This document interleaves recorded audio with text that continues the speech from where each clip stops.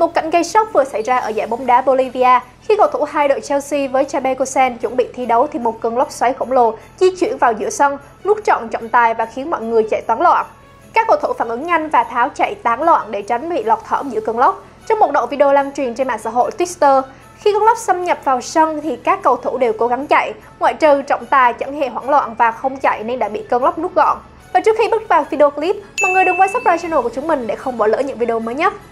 Trong giới thể thao nói chung và đặc biệt là trong làng bóng đá nói riêng có rất nhiều hiện tượng kỳ lạ, những pha bóng đẳng cấp hay những siêu phẩm hàng đầu thế giới nếu không được camera ghi lại thì hẳn sẽ không ai tin là có thật. Sau đây chúng ta hãy cùng đến với 40 tình huống nếu không được quay lại chắc hẳn không ai tin nó có thể xảy ra.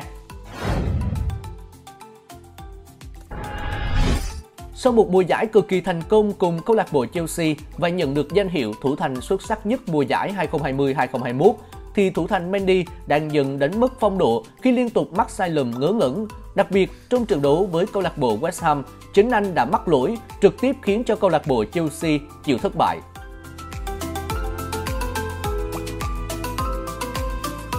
Trong một trận đấu của các cầu thủ nghiệp dư đang diễn ra thì bất ngờ thời tiết chuyển biến xấu khi xuất hiện một lốc xoáy rất lớn ngay giữa sân bóng khiến các cầu thủ phải bỏ dở trận đấu.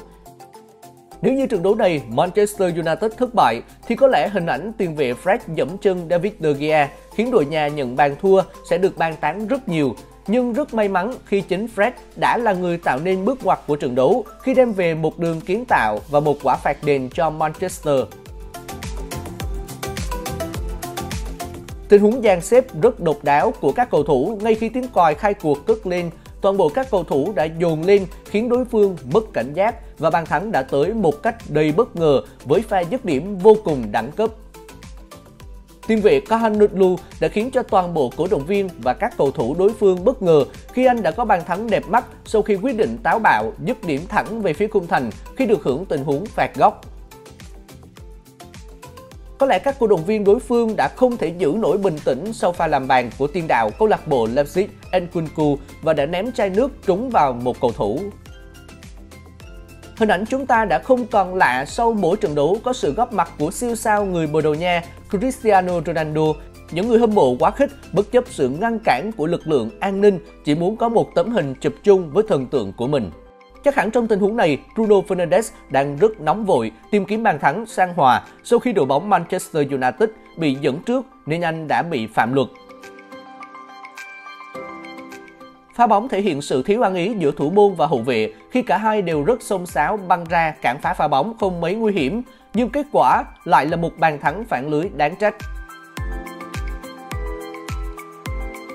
Trong một trận đấu giữa Chelsea và Manchester United, Điểm nhấn lại là những sai lầm của cầu thủ hai bên. Nếu như tiền vệ Fred có thể tận dụng sai lầm chết người này của thủ thành Mendy thì có lẽ Chelsea đã không thể có được một điểm trong trận đấu họ đã dồn ép đối phương. Công cùn thủ kém là những từ ngữ mô tả đúng với một câu lạc bộ Barcelona hiện nay khi trong một tình huống ngon ăn, các cầu thủ liên tục tung ra các cú sút cũng không thể khiến cho mảnh lưới đối phương có thể rung lên. Tiền vệ trẻ Vinicius của câu lạc bộ Hoàng gia Real Madrid đang dần chứng tỏ mình hoàn toàn đủ khả năng trở thành một trong những nhân tố trong giải ngân hà mới khi anh sở hữu một tốc độ và kỹ thuật điêu luyện.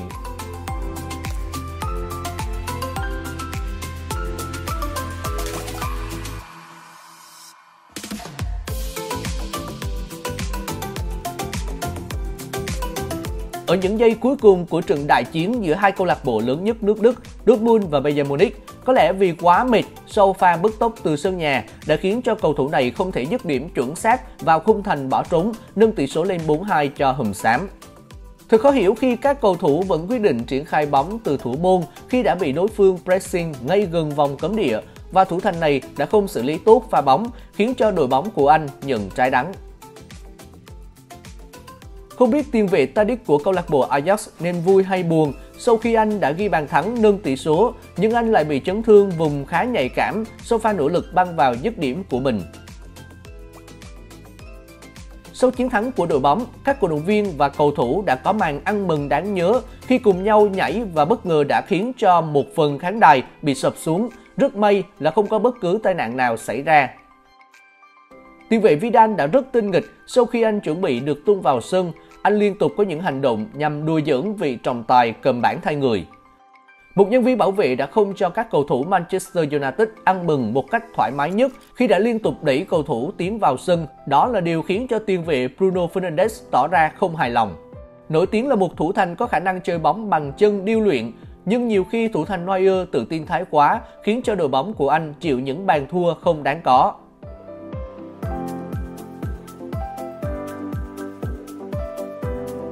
Sau khi chuyển tới một môi trường mới, có lẽ siêu sao Lionel Messi vẫn chưa thích nghi hoàn toàn với đội bóng mới. Khi ở giải đấu vô địch quốc gia Pháp Ligue 1 anh vẫn chưa thể có cho mình một đường kiến tạo nào. Pha bóng này có lẽ là đường kiến tạo duy nhất của anh, nhưng lại là một pha phản lưới của hậu vệ đối phương. Một pha xử lý cực kỳ đẳng cấp và đẹp mắt của cầu thủ nghiệp dư khi anh tung ra một kỹ thuật cực khó và dứt điểm ghi bàn không cho thủ thành đối phương bất cứ một cơ hội nào. Không biết tình huống đá phạt góc của hậu vệ cánh Juan Cuadrado có phải là một pha dứt điểm có chủ đích hay không, nhưng cuối cùng bóng đã bay vào lưới và trở thành một siêu phẩm đáng nhớ trong sự nghiệp cầu thủ này.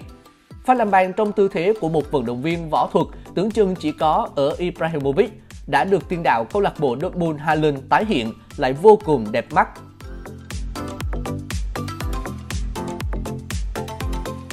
Thật không thể tin nổi là các cầu thủ ở một đội bóng đẳng cấp thế giới như Barcelona lại có thể bỏ lỡ một cơ hội ngon ăn như vậy sau đường treo bóng đầy tinh tế của tiền vệ trẻ Frankie de Jong. Chàng tiền đạo này đã có một quyết định vô cùng táo bạo sau khi anh quan sát thấy thủ thành đối phương đã lên khá cao với khung thành. Anh liền tung ra cú dứt điểm từ giữa sân bóng bay thẳng vào lưới. Một lỗi kỹ thuật đáng trách của đội chủ nhà khi các vòi nước tự động của sân đã bị bật lên khiến cho trận đấu không thể tiếp tục. Song pha càng lướt vượt qua toàn bộ cầu thủ đối phương trước khi bị phạm lỗi bởi thủ môn, tiền đạo người Na Uy Haaland vẫn cho thấy anh còn rất khỏe mạnh khi thực hiện động tác chống đẩy đầy thú vị ngay trên sân. Eric Bailey có thể sẽ là một trong những trung vệ hàng đầu của bóng đá thế giới nếu anh không gặp phải các chấn thương liên miên với khả năng cắt bóng và tốc độ cực cao đã biến Bailey thành một trung vệ đáng chú ý. Có lẽ đây sẽ là trận đấu cuối cùng cầu thủ này được ra sân chính thức khi anh chàng này đã có một pha xử lý khiến cho các đồng đội vô cùng bực tức và làm mất đi bàn thắng của đội bóng. Các cầu thủ dù đã có một pha dàn xếp đá phạt với ý tưởng là rất tốt, nhưng khi thực hiện lại trái ngược với ý tưởng của họ đề ra, nên đã biến thành một pha bóng thảm họa.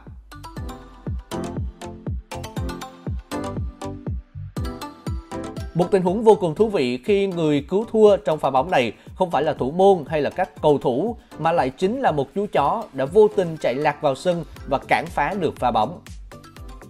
Hình ảnh rất đáng được tôn trọng này cần được các đội bóng ủng hộ khi các cầu thủ thay vì dắt theo những đứa trẻ ra sân thì mỗi người ôm một chú cuốn trên tay nhằm phản đối nạn bạo hành và ăn thịt động vật.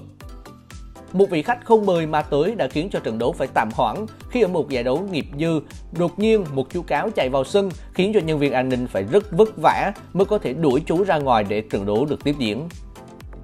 Vị trọng tài này có lẽ cũng là một cổ động viên trong trận đấu mình cầm còi khi đối phương ghi bàn, ông đã không kiềm chế được hành động mà khủy xuống sân tỏ ra vô cùng đáng tiếc cho đội bóng ông yêu mến. Anh chàng hậu vệ này đã có pha truyền bóng thiếu quan sát khi đã truyền thẳng vào chân tiền đạo đối phương, khiến cho đội bóng nhận bàn thua không đáng có. Không quá khi nói Joe Cancelo đang là một trong những hậu vệ cánh xuất sắc nhất giải đấu ngoại hạng Anh khi anh đang có một phong độ cực cao và đường truyền này là lời khẳng định cho khả năng của anh.